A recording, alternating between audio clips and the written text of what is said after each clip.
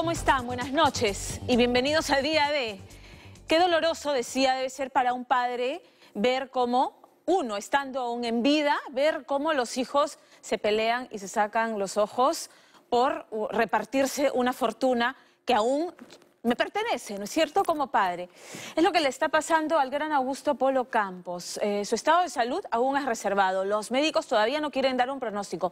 Él estuvo conectado a un respirador artificial para este, poder recuperarse de la neumonía que lo llevó a internarse en una clínica, ¿no es cierto?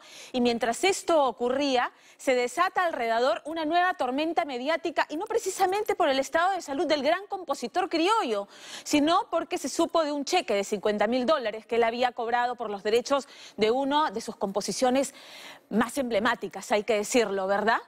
Eh, ¿Y qué es lo que ha pasado?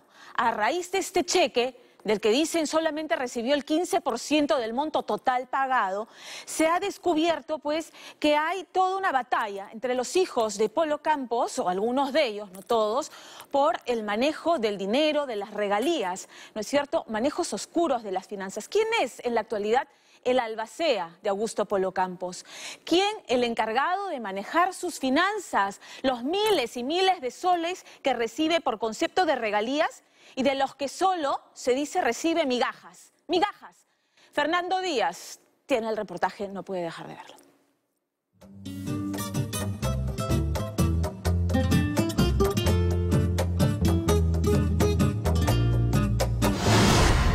¿Qué hiciste con el dinero, Polo? No, nunca ¿Has tomado malas decisiones? Porque nunca, nunca, mucha gente diría, oye, este compositor con tantas canciones, eh, no se ve que eres un tipo con fortuna económica. Ni quise tenerla.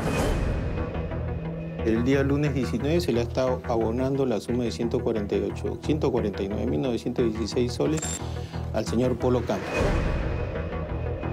¿Y ese dinero dónde está?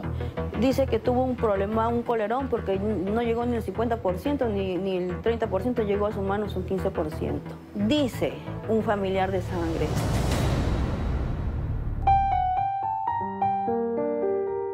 como si fuera la letra del vals más tortuoso. A sus 86 años, la vida del compositor criollo más prolífico y popular del Perú pareciera ser víctima de una eterna maldición, de una neumonía que lo tuvo varios días atado a un respirador artificial, pero también de un cariño malo que lo tumba de su laureado pedestal para revolcarlo y envolverlo en las páginas del escándalo. Ahora sí voy a hablar a la prensa toda la injusticia que hacen contigo.